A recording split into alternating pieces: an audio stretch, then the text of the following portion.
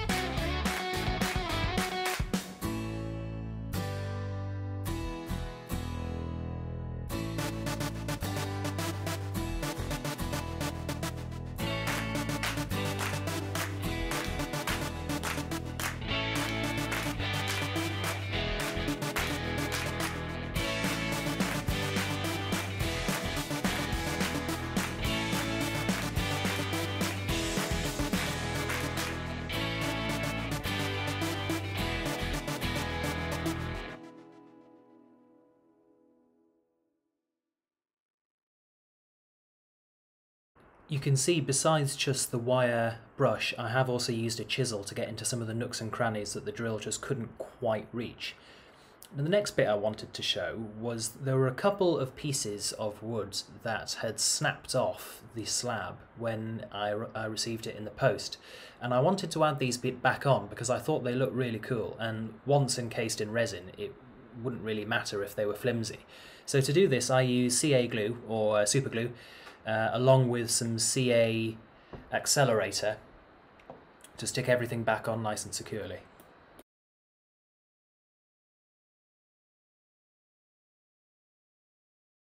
The next job was to start making the mould. So for the mould, for the base, I bought myself a really thin strip of hardboard which had a plastic covering. And for the strong sides, I managed to find a piece of skirting board which also had a plastic covering on it. For the curved sides, which you'll see in a little bit, I used some more of the really thin hardboard which was able to bend accordingly. So I've now got my mould built up. Here we are. Um, it's gone okay. The chipboard's split a bit in fact it's not really chipboard is it, it's MDF, but um, that's split, but I don't think that'll be a huge problem. I did also run out of melamine board just at the end. I'm not entirely sure how I managed to cock up the mats, but anyway I did. Um, it shouldn't be an issue because I'm going to be using mould release tape anyway. So the next job is to add the curvatures in the mould. So for this I'm using the same hardboard as I used on the base. As you can see I'm able to achieve curvatures like so. So I just need to pin this in place. So I've now got the mould as I want it. It took quite a long time to get these curves right. Um, there were areas where I wanted sharper curves to sort of really skirt the edge of the wood, you know. Um, and there were areas where I wanted a bit more relief because I wanted to, you know, I wanted to have enough resin to make it noteworthy in the table, like over here as well. Um, and these are pretty solid as well. Um, I know they look quite flimsy, but the reality is they're actually, I'm putting a lot of force on that and it's not budging. You know, they're pretty damn solid. Um, so the next thing that I'm going to do is I'm going to disassemble this and I'm going to put some tape on everything. Uh, that'll stop the epoxy from sticking into the molds. Apparently this, this white stuff, I think it's called melamine, um, this white stuff is meant to be quite good at resisting epoxy sticking to it. But what I have heard in the past is that epoxy can, uh, as it as it cures, it heats. Um, and I've heard that some people have had issues with the um, this white borderline actually melting and then mixing into the epoxy. And I think for the expense of a few rolls of of, of uh, mold release tape, I didn't really want to take that risk, you know. So um, so yeah, that's the next step.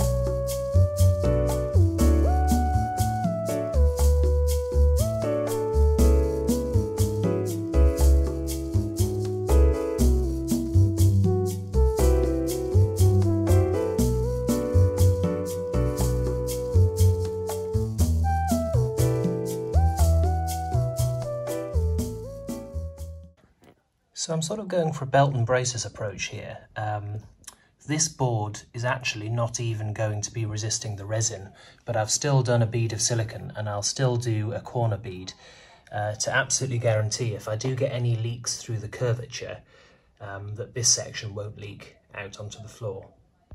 So I've now got two of the sides on uh, it becomes a lot easier to build up the mould as you've got more sides on because things become rigid and you've got sort of areas to locate on. You know, you can locate this board from the finishing point of this board.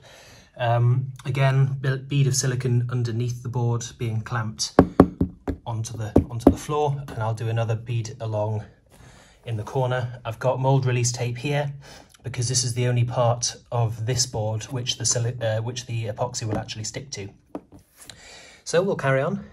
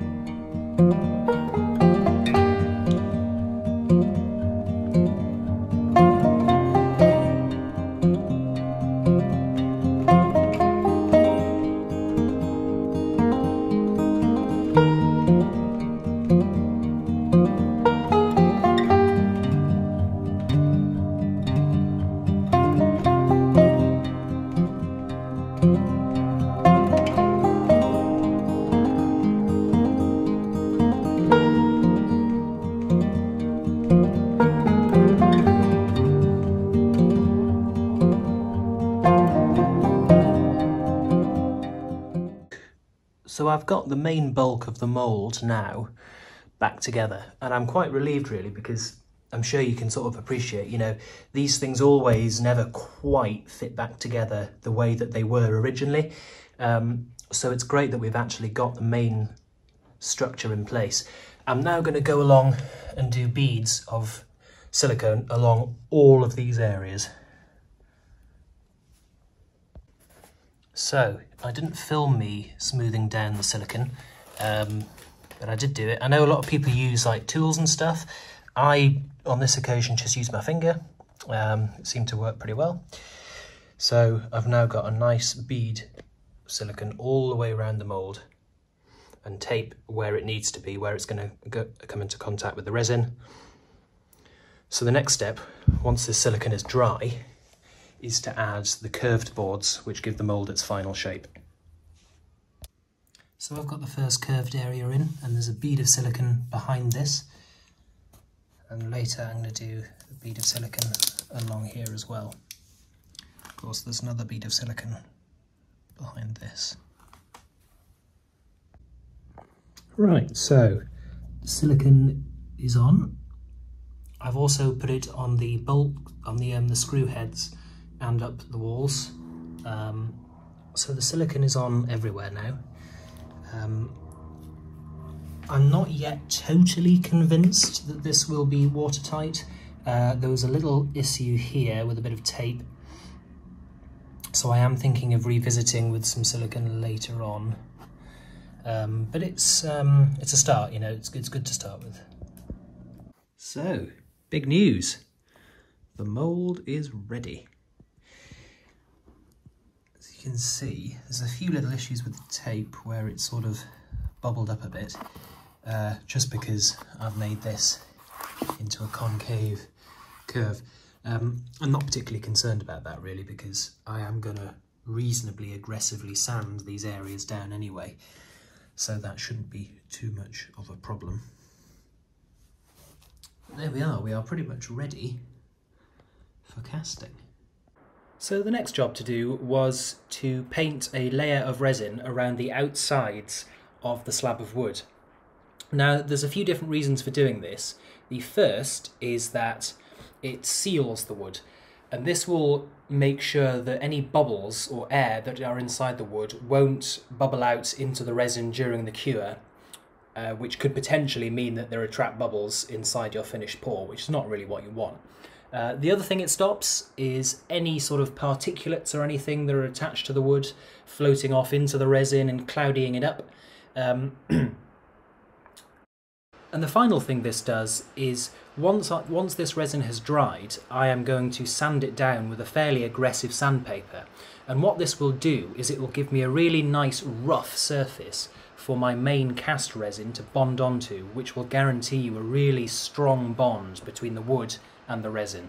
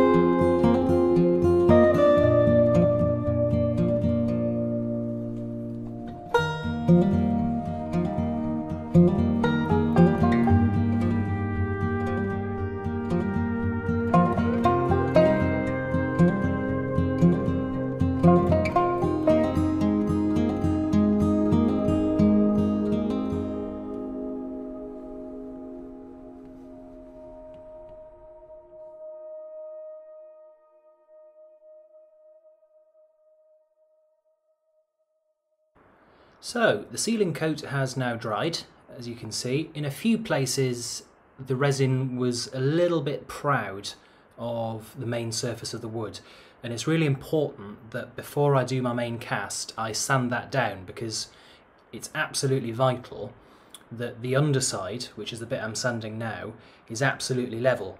Otherwise I'm going to end up in all sorts of problems after I finish my cast.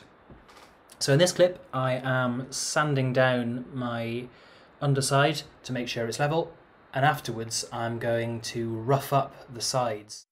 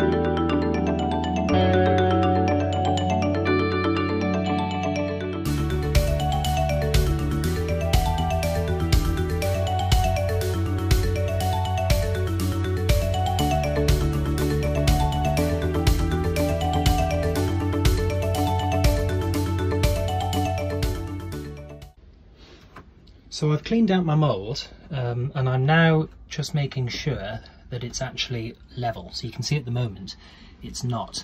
Uh, and in fact, it's not in either direction. So we need to do something to redress this. So by adding wood underneath the workbench, we are able to redress the imbalance a little bit and we've got it okay in one dimension, as you can see, but we're struggling still in our other direction. So we still need to do a little bit more work. So we're not far off now, but we're still not exactly perfect, but we're not far off. And you can see when we measure in a few different areas, we're sort of, we're getting there, but we're still not perfect. So what I'm gonna do is I'm gonna get my actual slab because that's gonna really push down on the base and that's gonna give us a much truer reading. So here we are again. Excuse the creaking, that's the shed door. I've now got my clamps in place, so I've got some sash clamps which are clamping over a crossbeam down onto the underside of the mould and they're held on with spacer blocks onto the actual slab itself and I've got four on.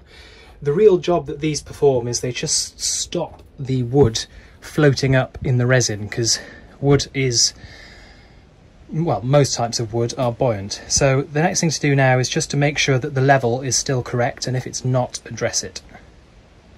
So we've measured up and we are now level. So the next job is to give it one final clean out and then mix up the resin. Right, so we're on to the fairly dreaded mixing of the resin part. Um, my resin requires mixing at a two to one ratio I'm assuming two parts resin to one part hardener, but I don't really know. Um, so we're going to do that. This is the really scary bit, if I'm honest. Because this is the bit that's really quite expensive if you get wrong. So the resin I'm using here is called Depoxy 2K 700. Um, and I did a lot of research into this before settling on a resin and I eventually chose this one. It was uh, available quite uh, swiftly on Amazon. It wasn't very cheap, but to be honest, after all the research I'd done, I haven't really found an inexpensive resin. And I suspect that it's probably one of those things that it is probably worth spending a bit of money on because if you get this sort of thing wrong, you really can screw up your project. And I suspect that because resin is such a popular thing to work with these days, there's probably a reasonable number of not very good products on the market. So after a lot of research and reading through a lot of reviews, I decided on this one.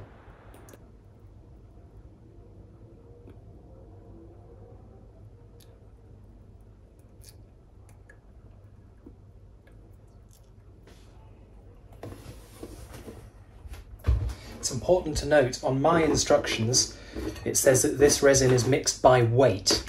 Okay, and that's a really important thing to note because some resins are mixed by volume, not by weight. And that can completely change the maths. So if you're doing a resin project, make absolutely sure that you are mixing using the correct ratios. Now for mixing, I've got one of these, um, it's difficult to see because the camera's so zoomed in, but got one of these um, drill mixing uh, sticks. Uh, mainly because everyone else on YouTube seems to use them, but I do think it's a good idea for mixing because you really do need to make sure that you mix your resin appropriately. So the instructions on my resin said to mix between four and five minutes. Uh, and so that's what I'm going to do. And this is another reason why I bought the uh, the drill stirrer because I thought it would just take a lot of the effort. Without trying to say I'm lazy, but I probably am a bit lazy. But I thought this would take a little bit of the effort out of the uh, mixing process.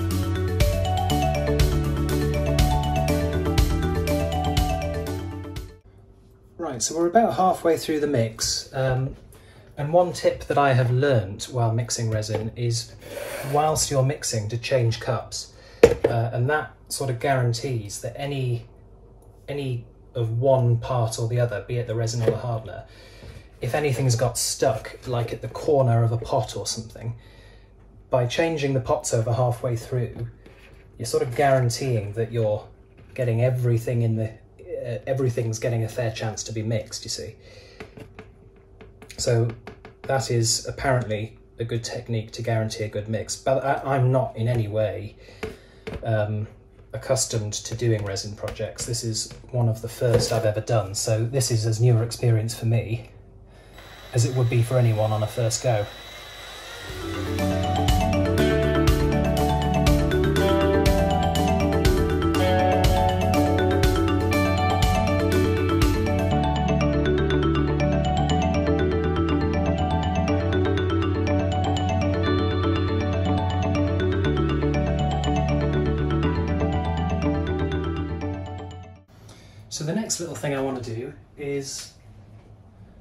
To get as many of the bubbles as I can out of this resin. So one of the ideas that people have come up with is to leave your resin in warm water for a while. So I've got some water here. Um, it's probably around 40, 50 degrees-ish. Um, the temperature in my house today is 24. I've just checked the thermostat, so that means that I should have approximately 30 odd minutes to work with this resin before I really need to be getting it in its final state. And as I've only been working with it for five, I've still got plenty of time to do what I can to get bubbles out.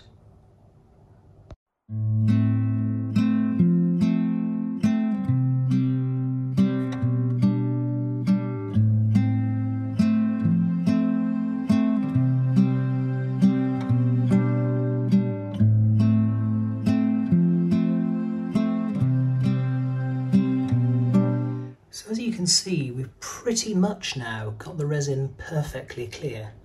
Um, the last thing I'm going to do before I take it down and actually pour it is give it a squirt of isopropyl alcohol because that lowers your surface tension and can pop any bubbles on the surface. So here we are.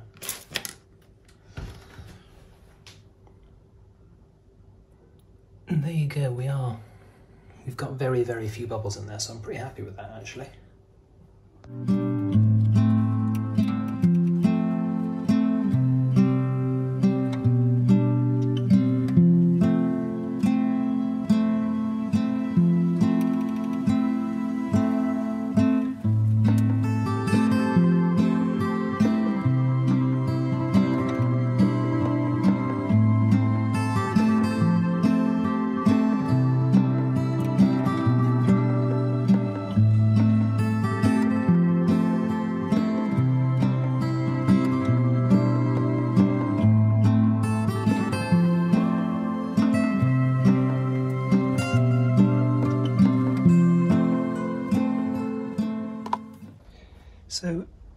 First pour done, and I think I've done the sort of classic overreaction.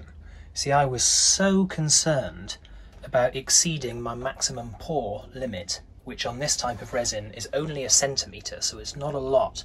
Um, but I was so concerned about exceeding that limit that what I've actually gone and done is I've mixed nowhere near enough resin, and so I think I've probably only actually poured about ugh, don't know, three, four millimeters, something like that. So um, it's all a learning curve, isn't it? But just means that in the next pour I do, I'm going to have to mix up a lot more resin. So here we are with pour number two.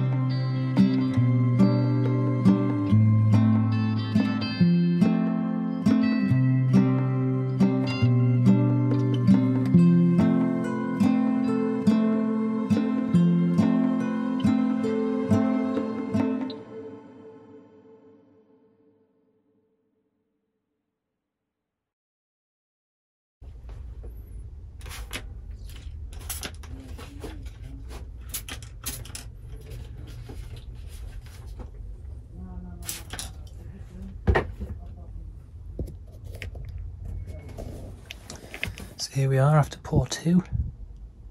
You can see what sort of level we're up to. We're about ooh, just under halfway, I would say, up the slab of wood.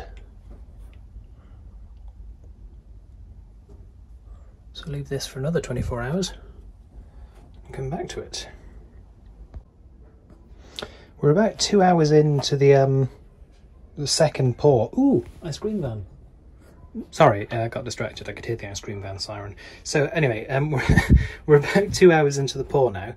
Um, this is pour number two, and you can see everything so far looks okay. It looks a bit yellowy, but this resin does look yellow until it's fully cured, and that's because of the um, there is some UV particulates which are designed to absorb UV um, which ironically eventually will stop the resin being yellow once it's fully cured. So it's um, that's perfectly natural for now. There are some sort of surface occlusions. You can see one there. Um, that's where I've sprayed my isopropyl alcohol and that leaves a slight sort of film on the surface. There's another, there's another bit down there you can just see. Again, perfectly normal. So far, um, you can you can feel the heat on it. It generates a hell of a lot of heat when it's curing. Um, but so far, uh, nothing majorly untoward to report. My main concern is if I've poured too thick a layer, um, because the resin generates so much heat when it's curing, if the layer's too thick, um, the heat won't be able to escape from the resin and it will it'll shatter like glass. Um, and obviously that'll completely ruin the project and I have to start from scratch again. So that's my main concern, I guess. Uh, so um, I guess see what happens in 24 hours. So that's it for this video. If you enjoyed it, please leave a like and maybe subscribe. Um, if you do have any questions on anything, whack them down below in the comments and I will try to get back to you. And I shall see you in the next one. Bye for now.